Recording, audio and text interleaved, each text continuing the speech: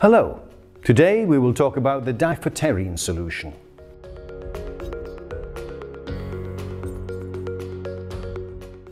The Diphoterine solution is an emergency rinsing solution recommended by various countries and international scientific communities.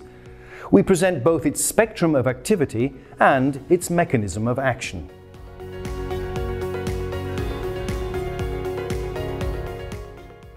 Diphoterine solution is an amphoteric and chelating solution.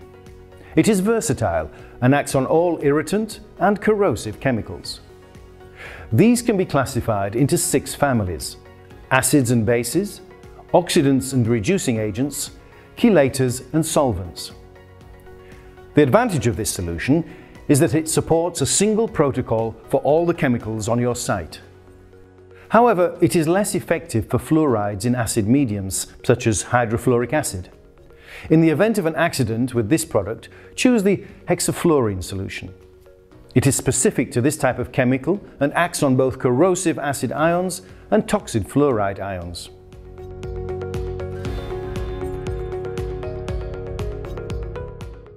The mechanism of action of Diphoterine solution is very simple.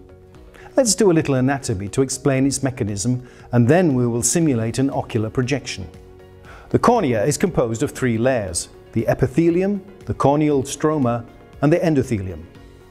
When a chemical is splashed into the eye, only a small volume will come into contact with the surface of the cornea, that is to say 0.2 milliliters or about 3 drops. This small volume is sufficient to cause a burn. In case of eye contact with a corrosive product, the penetration of the chemical starts after only 10 seconds. At first, the epithelium is resistant. After 10 seconds, the chemical penetrates the epithelium. At this stage, the chemical is in contact with the sensory nerves and the victim usually experiences severe pain. However, there is still no irreversible damage. The endothelium is not affected. After 30 seconds, the chemical penetrates the corneal stroma, its structure, made up of collagen fibers, is affected. The victim will have visual disturbances, such as blurred or whiteout vision. It is quite possible that the victim will panic and feel severe pain. But fortunately, the damage is still not irreversible. The endothelium is still intact. After 60 seconds, the lesion can turn irreversible when the chemical comes in contact with the endothelium. By definition, if the endothelium is destroyed, it is permanent. The lesion is therefore established and there will be a need for medical intervention in addition to decontamination.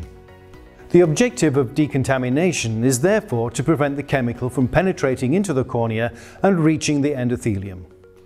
If you use water to rinse a chemical projection, it operates on the surface. Rinsing with water is a passive rinsing. It carries the product and dilutes it on the surface, so on the cornea. Water is hypotonic, so it cannot limit the penetration of the chemical into the tissues of the eye. This hypotonicity of water can be harmful in the context of a chemical burn. It carries the chemical further into the eye and thus brings it dangerously close to the endothelium. If you are using water to rinse an ocular chemical burn, the standard is to rinse within 10 seconds of the splash. As we have seen, this is the maximum time during which the epithelium will resist.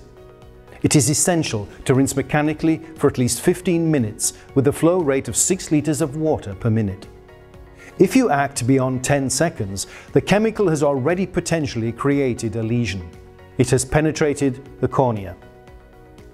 On the other hand, if you apply the Diphoterine solution, you can remove the chemical on the surface by rinsing, as it is a liquid solution, like water. But the Diphoterine solution goes further. It limits the spread of the chemical in the tissues as it is hypertonic. In fact, it is more saline than the eye and the skin. If you apply the Diphoterine solution, it stops and removes the chemical. This quickly stops the pain. Continue rinsing, even if you no longer feel any pain. If you intervene within the first 10 seconds of the accident, the 50 milliliters of SU is enough to decontaminate the eye. If the chemical has already penetrated deep into the eye, it must be drawn out to stop the destructive action. To achieve this effect within the first minute, 500 milliliters should be used. Higher volumes of the solution will be needed if you exceed this time limit. Thus, Diphoterine permits to drag the chemical to the outside to prevent it from reaching the endothelium. When decontamination cannot be carried out on time and the endothelium is reached, emergency services and hospitals can rely on the properties of the Diphoterine solution to limit the severity of the lesion. The spectrum of activity of the Diphoterine solution and its mechanism guarantee effective rinsing against all types of chemical spills, whatever their nature. There is one exception, hydrofluoric acid or fluorides in an acid medium. For such projections, the hexafluorine solution is the best option. Thank you for your attention. We remain at your entire disposal for any information concerning your safety around chemicals.